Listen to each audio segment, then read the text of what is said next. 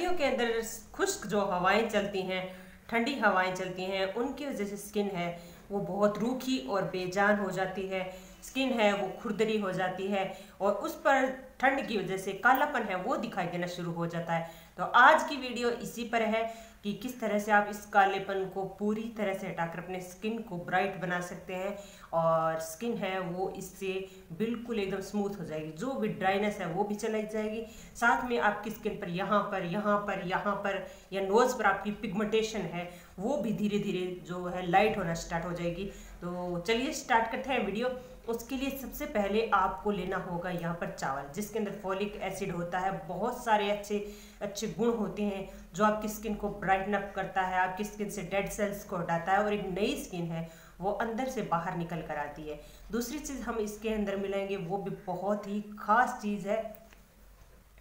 वो है friends coffee coffee के अंदर ऐसे गुण होते हैं जो बहुत अच्छी तरह से स्किन के कलर को ब्राइट करती है।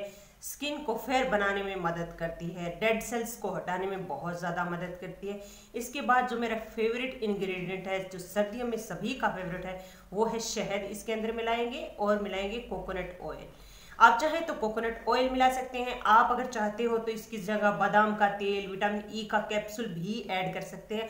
आपकी मर्ज़ी है, जो चाहे इनमें से कुछ भी चीज़ें आप ऐड करके इन सारी रेमेडी को अच्छी तरह से बना लीजिए। ये हमारा जो बेस्ट स्क्रब बनकर रेडी हो गया है। तो चलिए इस स्क्रब को किस तरह से यूज़ करना है, वो मैं आपको बताऊँगी। वो एक खास तरीका है। अगर उस तरीके से आप यूज़ करते हो तो आपके डेड सेल्स निकल जाएँगे और जो रूखी और बेजान जो त्वचा है सर्दियों के अंदर, वो खिल उठेगी, चेहरा बहुत ही ज़्यादा निखर कर सामने आएगा। देखिए ये स्कर तो चलिए हम इसको अप्लाई कर लेते हैं। चेहरे को सबसे पहले वॉश कर लेना है आपको। मैंने चेहरे पर किसी तरह का मेकअप नहीं कर रखा है। मैं पहले से चेहरे को धोकर बैठी हूँ, इसलिए चेहरे पर कुछ भी नहीं है। सिर्फ़ हम डायरेक्ट लगाएँगे ये स्क्रब यहाँ पर मैंने सिर्फ़ लिपस्टिक लगा रखी है ताकि चेहरा कुछ अच्छा और खिला खिला दिखाई दे। तो इस तरह से आप इसको पहले पूरे चेहरे पर आपको इस तरह से लगा लेना है।